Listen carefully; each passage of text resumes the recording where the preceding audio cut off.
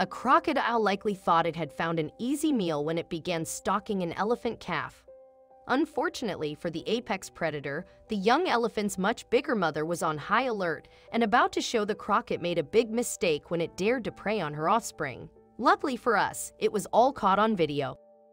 Hans Henrik Haher, a tourist from Aarhus, Denmark, was in Zambia in East Africa when he captured an amazing sight on video. While on safari with a group from the Baines River Camp in the lower Zambezi Valley, Hans spotted a large female elephant in the shallow water of the Zambezi River. The elephant had spotted something too, namely, a crocodile. The apex predator had been stalking the elephant's calf, who was on the river's bank, according to Daily Mail. Luckily, the mother elephant saw what was going on and decided to do something about it. In the shocking footage, the large, angry African elephant is seen violently attacking the crocodile after it dared to prey upon her calf.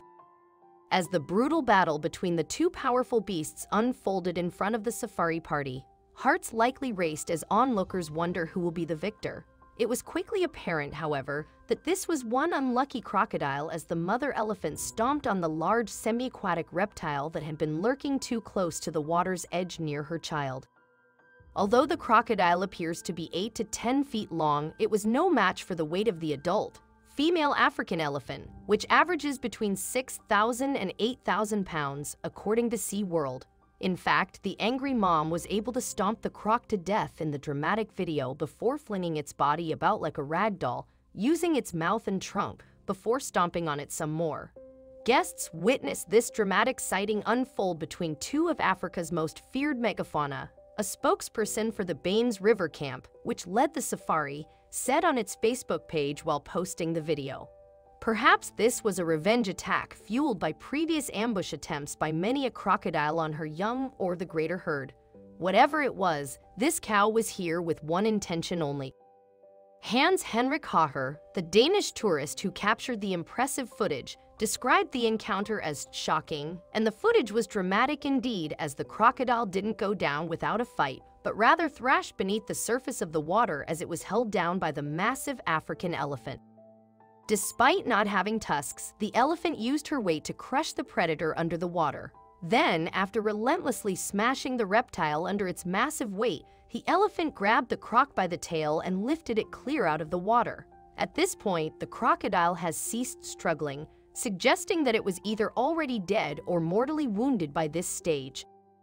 The Safari Company said it best. While this footage might be difficult to watch, it demonstrates just how raw and tough life is in the bush.